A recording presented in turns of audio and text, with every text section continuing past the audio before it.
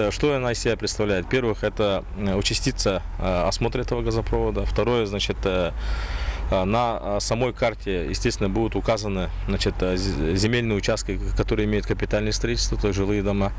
И, соответственно, на этих участках будет особый режим по значит, осмотру объекта и плюс, значит, скорее всего, будет пересмотрена частота экспертизы этих объектов. Совместно с экспертными организациями разрабатывать рекомендации или же, скорее всего, по федеральному закону специальные технические условия, по которым а, будут приняты экспертные решения, что конкретно необходимо сделать для того, чтобы обезопасить э, людей, которые находятся именно вот минимально допустимых расстояниях.